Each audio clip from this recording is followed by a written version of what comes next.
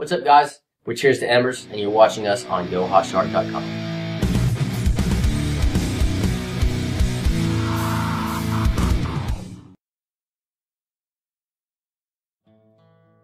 Top songs um, for me right now. It's probably a little boring for most people. I'm uh, I'm I'm digging the new Breaking Benjamin song "Failure" um, off their upcoming uh, "Dark Before Dawn" album, and uh, the new Red album of Beauty and Rage. Pretty much the whole album. It's it's not left my CD player since I got it.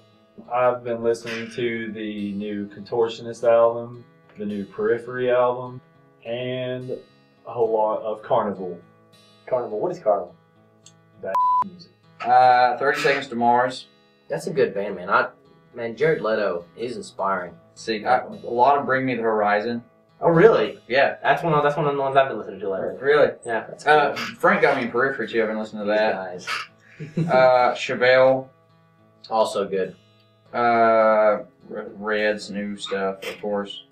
And uh, We just opened for Red um, recently, so big big I deal like on a huge huge Red kick right now. I was before, but like you know, even more so now. So. uh, Three Days Grace has got a new a new CD. Uh, oh yeah, oh, I, I uh, really, I really am looking forward to it. Actually, I am. But though, I like their new. They've got three singles out, and every one of them good. Yeah. But I'm um, psyched about it. I keep looking for it on the store shelf, That's not there yet. and then uh, then I'm uh, John Mayer and Ben Rector are my other other ones. Oh wait, and uh, Ben Howard. Look at uh, Black Flies with Ben Howard. It's great. Like if you like acoustic folk music. Mhm. Good. Uh, I've been listening to a lot of uh, Bring Me the Horizon too. Uh, of Monsters and Men. I'm really big into like a lot of folky indie sounding like, pop music too. Uh, I don't listen. I go on, I go on rock kicks, man, but it's not like I don't listen to rock like continuously. I don't- That's this good is though. That's- this that's is my like- biggest dose of rock is being here. Like, Inspirationally though, it's I mean, uh, Well, you- creatively, it's good that we have so many different influences. Yeah, You know, I'm- you've I'm- that let me look- style, I'm- you know, that you. I know you've been listening to uh, Deftones a lot. Oh yeah, I just now pretty started usual. listening. Yeah, as I just now started listening to their last album because I I started listening to them and I let's start listening to them after Diamond Eyes, and then they had another one come out, and I just never, you know, you lose touch with the band after that. Mhm. Yeah. it's freaking amazing. It happens. Oh, Slipknot. Oh yeah, that's always always Can't yeah. leave The them new off. Slipknot. Um, yeah, I've pretty much always listened to this type of music. Um, I listen to other other stuff just a little bit, but mostly I it's rock and metal and stuff like that. Um, I I guess I've been listening to it as long as I can remember since I was in fourth or fifth grade. Uh, no. That was I- no, no, no, I didn't. Uh, embarrassingly enough, no. That's not embarrassing. That's No, not embarrassing It's at all. embarrassing knowing what I listen to other than rock music. You've got nothing on Like- me. I can promise you that. you, you sure about this? I remember when I was six and I rocked out to Will Smith. All right. That's, I that's like not that Smith. bad. he raps Six. happy. he raps happy. No, he was mad at his parents. But other than that, my dad would like listen to like Van Halen, and I didn't that's get in- awesome, man. Well, Like, yeah, I that's still love, I interesting. still Yeah. love classic rock and stuff. Well, I didn't. I didn't like get into them big until I started playing guitar, and I was like, "Oh yeah, Dad, he had a he had a good thing going there." like, and then I got Mine to was- Van Halen. Mine was much different than that. My parents, uh, the music that I was uh, kind of subjected to when I was younger, um, my mom was a pop fiend. You know, uh, Madonna, Paula Abdul, and, and all this stuff. My dad, he was a huge country fanatic. And I, I liked all of it. I, I really did, genuinely. when I was in, I think, middle school, um, my best friend let me hear some Metallica. And I was like, wow, this is, this is awesome. After that, I was just like, you know, Rolling Stone, man. I just kept like picking up stuff as I went, and uh, eventually hooked on to you know bands like Linkin Park and, and Breaking Benjamin. So it's been a really odd musical journey for me. We had a contest at uh, one of my elementary schools that I attended. Me and a couple of other guys did uh, did an air band type deal, and uh, I mean they were they were little blow up guitars, and and I didn't have any have anything except for a seat and a table and two pencils.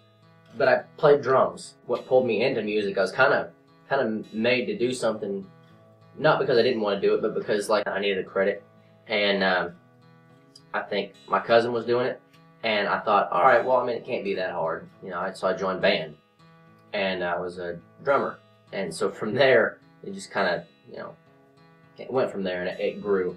and uh, I got pulled in a lot farther.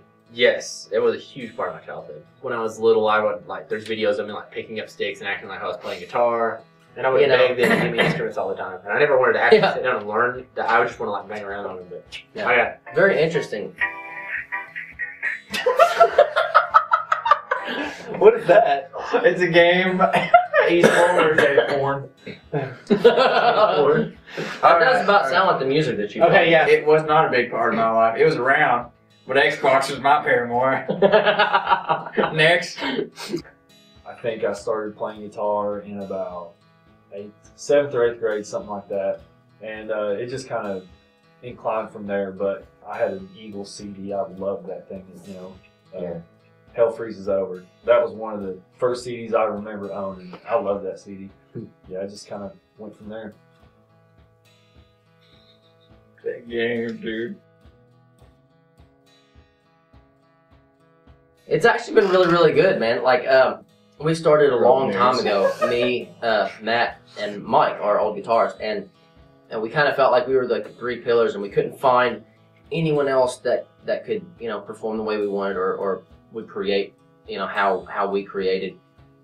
Um, until we uh, picked Frank up, and oddly enough, we got Frank through meeting Brent and Keith, and uh, they were they were in a separate band at the time.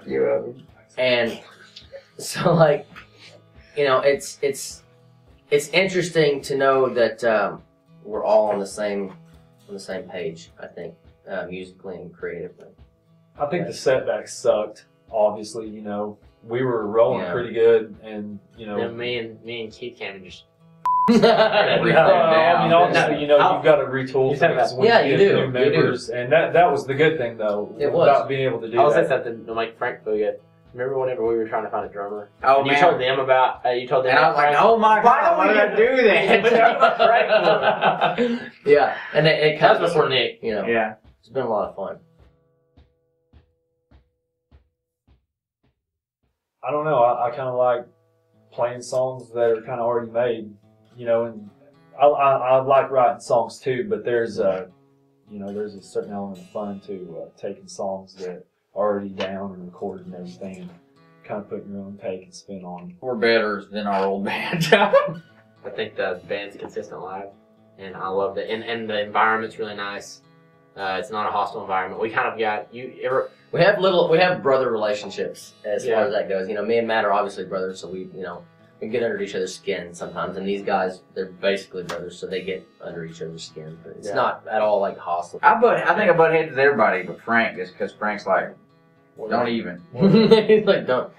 Um, I have my opinions. Don't. Don't even. The worst part- On me, I can't even. the worst part, the worst part about being new to the band, I think, is getting over that vibe. I don't even if they don't- even if like the rest of them don't feel. I think Keith uh, like knows what I'm talking about. It's like it's Tears and Embers and Brent and Keith. And it's gonna feel like that for a while. Uh, it, you can't and you can't really. Get I that think I think we're starting. You know, we've been in it for a year now, but I think now that we've got to a groove, I think it feels more of a cohesive. That's the only bad thing. Isn't the worst. So that's the only bad thing I can really point out. yeah. I It's mean, not a negative it's, thing. It's not really a negative It's, thing. It's kind of almost just a this thing that you gotta get through. But uh, yeah, Yeah. And we've seen lots of members come and go, and so it, it always kind of felt like the other members, you know, didn't really. it's, it's Frank's shoe. Okay. Uh, it always kind of felt like, you know, the other members were the other members, and we were Tears to Embers, and, and you know, so it was hard to it was it was hard to find people that actually uh, just um, just fit in the uh, in the situation. And so again, you know, inside looking out, I see how these guys feel about you know feeling like they're not necessarily immediately a part of the group as much as they are you know the new guys that just joined and are trying to adhere to. you know. Now, you know, also too, I think when we, we started doing things uh, like we started when we start adding, like we, we started building stage shows and started doing videos, and that made it more like, okay, this is Yeah. new. This isn't something that was going on before us. Exactly, So it, and we all kind of got to throw our eyes- ideas in, so it was it was you know Mm. um, a creature of all of our creation. Yeah, Tears and from that is- point. Still feels like it's just getting started in a way. yeah. So you know what I mean? definitely for the better. I mean, it was a blow. Um, losing Mike, you know, because he's been with us since the beginning. Um, like Frank said before, it was it was kind of a setback, but it was it was an impassable setback. It was going to happen at some point or another anyway. So the band has grown um, for the better. I think we're we're doing a lot more now than than we were before. You know, to to try and you know reach this professional plateau. and you can't see what we're doing on camera, but I'm gonna just go ahead and look. I can't get it on. the band is the band has definitely changed for the better. Well, it's been interesting. I mean, we've had a lot of a lot of lineup changes between. I mean, it's been almost a little frustrating at times because, like, I mean, where we're where we are, where we lo- where we're located, even the musicians that are here are just different than us. We're definitely geographically challenged. Yeah, absolutely. You know, It's either they're either here's really, really it's, heavy it's, really easily, soft. it's so. easily country or Metal. or metal. That's the good thing about us, though, is we're kind of on the fence. between Yeah. mainstream rock and metal. Yeah, Yeah, really. Yeah, and, and it all of us have that same shows. mindset about it too. It's not like anybody here feels out of place playing the type of music that we play. You know, That was another thing Yeah, with the band. that like, was the- with the- the- ours. with our band. It was like guys had a band that didn't like what we did. our situation was so dire with our band, like our last show with our other band, like our old band, we we had to get a friend of ours that played bass to come in and learn a song for like three days on bass, and then he had to do guitar that night, and we were just like, no, this ain't gonna work. And then it ended up we lost members too. and even if you had found new members, I mean that that It's number of members haven't been lost all at once. It could have And been key catastrophic. And, and to let you know how hard it would Yeah. be to build a band from scratch, it was like Serendipitous. the, with Oneida. I mean, the whole county is more, but Oneida itself's got like a population of like six thousand. That's Yeah. uh, that's a big problem. So the fact You know, that finding members around here is Yeah. it's different. the fact that we have a that this happened to them and and we were simultaneously you know um, losing our longtime guitarist and, and great friend mike um, happened almost at the same time. That's a good question. Um, the type of people that uh, that I have the most respect for, I think, are the people that really that really dig in and do the work and fight tooth and nail to get people out to your shows and get them to buy your merch and and so I've got the most respect for, for people, and especially bands that, that tour all over, and, and not just because it's fun, but because they they know that they need to. That's that's the people I have the most respect for. Is people that are willing to fight for what they know they're supposed to be doing. Humility means a lot to me. I think people that respect what it is. You know, I hate I hate people like, hey, we get a free bar tab. Like, like that's cool. Like we've got free bar tabs before, but it's Mhm. like taking everything seriously enough, not so seriously that you're like, oh, oh, but You don't want to be stiff. Yeah. Obviously, we're, we're we kind of joke around a lot, but we do we take we don't take ourselves that seriously, but we take our music very seriously. yeah, just to kind of top off what you guys said. Um, And sorry if you mean specific people; those are drawing blanks from that. yeah, I'm kind of sticking with you know in terms of music and uh, people, um, open-minded people and people Yes. that are you know respectful. That's a really good That kind of Yeah, now people that people that aren't people that are very open to anything, like they'll they will take something and they won't be like, oh, that's from this band, you know. Mhm. Daily life, man. Daily life. Yeah, that's, I mean, I don't wait. They, uh, I have, a, I have a good. I mean, you. do- Everybody gets inspiration. This is, and this. I don't mean this to like make the que- uh, disrespect the question, but uh, I like. There was a quote from uh, Stephen King, and he said, like, and I try to go up and Keith's the same way, and I'm sure, and I know that Matt and them, like, when they want to write a song, I'll sit down and try to figure out a song. It might not end up being good, or it might, you know what I'm saying, but you you sit down and do it. He said, part of us wait for inspiration, the rest of us have. He said the ones that are doing it professionally get up and work, and they just get to work. Yeah. And that's when you do it. You don't wait for inspiration. It'll start to happen like as you go, as you go. that's You'll what I get mean, an idea from something, but you That was- we don't just wait to be inspired. But yeah, you should Yeah. throughout your life, you know, throughout your day, you should you know do things that's going to stimulate you to uh, be inspired. Yeah, absolutely. You know, and one of I'm the not. I'm not Oh, what was we doing? I don't know, but I was so hungry. Oh, Um, cookie break. Mm.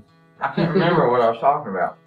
Diversity. How helps. bad? How bad should always? Inspiration. Well, no, no, it's like Hmm. if you listen to different like genres of music and stuff, it really helps. But like me and Brent for forever, and our Ryan over here, we did the same thing. We would sit in front of a computer for like three and a half hours and just write, and it could be, but then maybe sometimes it won't be.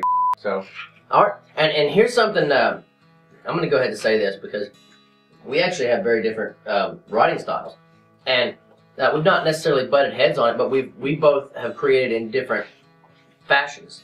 Like um, with with Mike when he was in the band, he was very very freestyle, and he was he would just come up there and he would sit and play for two hours solid, and not play the same thing until we found something that just caught my ear just the right way and, and, and invoked some kind of emotion. And, you know, it, it was an emotion that was connected to some kind of event that had happened to me recently. That's that's how I wrote. Um, I would find some kind of emotion attached to what he was playing, and and attach that emotion to something that was oh, still my cookie. anyway, I would attach that emotion to some kind of something that had happened to me personally, and and kind of give that feeling um, from that event life through lyrics. You know, I would kind of because that's what inspired me when I first started um, listening to music was it was bands that that made you feel like they had experienced the same kind of pain or the same kind of happiness or the same kind of anything that you had. That made you feel like you weren't the only one experiencing it. And so basically, Sorry, there's a guy behind the camera and he's making yeah, a you flash. can't see him, but he also gave us these cookies. so I can't it's see me okay. but uh, you know, inspirationally, uh, like these guys said, you know, they would they would sit down and work, and that's kind of what we were doing. But at the same time, you know, while we were freestyling, we would get some kind of connection to what we were playing, and and that's that's where our writing came out. You know, but again, it's it's doing the work. You And I know, wasn't just sitting disrespect the there. question. No, not at all. I don't think you did. I think I think you But- did it justice by by branching off, you know, like you did. Surround yourself with musicians and music in general, just Yeah. to uh, Make friends in out. it. yeah, yeah. That that's the best way I think. It's kind of like a support group, isn't it? Yeah. Like, Yeah, I mean, and you know, you'll, you'll find out um, Pretty whether you really want to do it or not. like- You know, we're doing this on the side, and and the amount of work you have to put in on top of like your daily activities, you know, and all of us have kids, and all of us, wives who hate our guts. and it's but it's doable. You know, I'm not I'm not trying to make it seem like this insurmountable task, but just True. take it take it seriously and make sure that, that you're prepared to accept the responsibility of of what you have to do to accomplish. And when we say take it seriously, like I know we're acting like a bunch of idiots, but like we don't. Ta- like I said we don't take ourselves that seriously. We take our Yeah. music really seriously. Yeah, you We take can't. music You can't take yourself seriously and, Yeah, and be in, in a If I had- band with four or five guys. so you, you have to be able to take it seriously yet have Not, not fun. be so far up your own soul that yeah, it's not have fun. have fun with it. Me personally, in all seriousness, I I want to be doing this on a professional scale There you go. in ten years. That's me. That's I mean- my only desire. And we're trying to we're trying to take moves to do that. Like that's we have a game plan. It's not like well I don't know. We And might you be have doing to. You something. have to But plan like it, man. 10, I 10 mean, year ten years is a long. We don't have a game plan for ten. Yeah, we don't have a, a ten year game. Plan. I think plan. we have a two-year plan I more so than a ten-year plan. I think that that's not completely in our control. You know, I mean, for Yeah. the most part, it is. You know, but who knows? But as far as the one thing want, that's in your control is, you know, I want to keep playing music. I want to Oh, keep yeah. growing as, as a musician, and uh, I definitely don't want to that's stop. my ten-year plan. Yeah, but ten years, for the next ten years, I'm going to be playing music regardless. Me too. So. But so, uh, we didn't you know goof off too much in this interview. Thank We you hope you guys uh, have enjoyed it. Um, it's it's meant to be enjoyable Yeah. and entertaining. So, Hey, I have I hope, we didn't, I hope we didn't ramble. I know we Why don't you ramble. That's just what we do. and I'm sorry that we ate cookies in front of you. Yeah, I'm sorry we rambled and yeah. And thank you to uh, Go Hot Shark for asking us to do this. Oh yeah, Go absolutely. Hot Shark. And and Yeah. thank you uh, to Go- them go for Hot putting Shark. us all over their website and supporting us like they have. Um, we got to meet I, them. I, I think I think they just came out with a theme song for you guys. Go ahead. I think like Power Lawsuit Rangers would kill me though. Go ahead though. Go ahead. We got we got to meet them, and they're incredibly nice. They're incredibly supportive of us. They they really enjoyed our performance, and, and we really enjoyed having them at our performance. So thank you guys so much for setting up the interview and, and everything you're doing for us. Yeah,